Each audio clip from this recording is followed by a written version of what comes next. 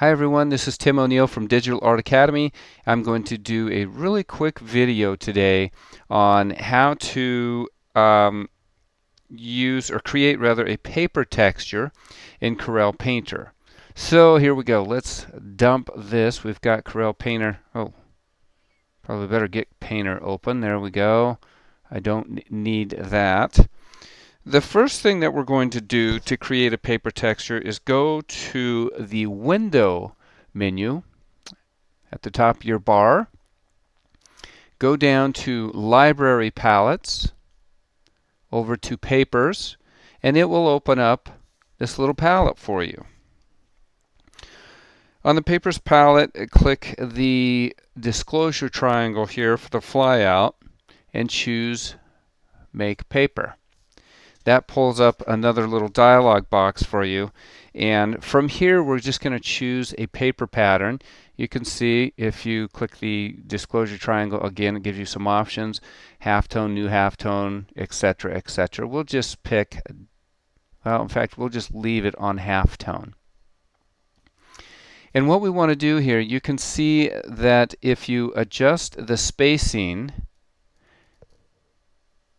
Moving the spacer slider to the right opens up the space between the rows and columns in the selected pattern here. So you can see you can go however far you want. Okay?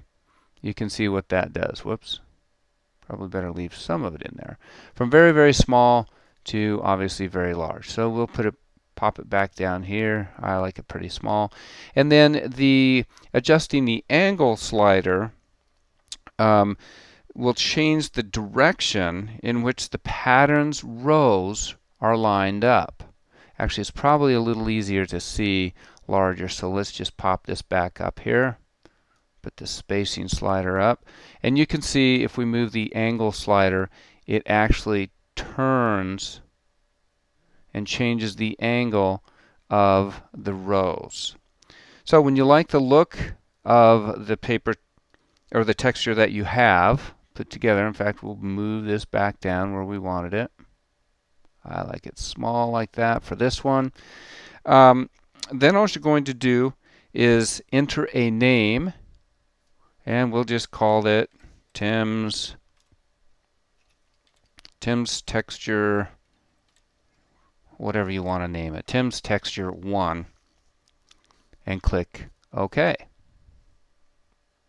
Okay, so if you want to select that paper, then you will go over, whoops, excuse me, this little triangle here, go all the way to the bottom, and you will see Tim's Texture 1 is right there. And if you choose it, it will be pulled up, and now you can begin to use it.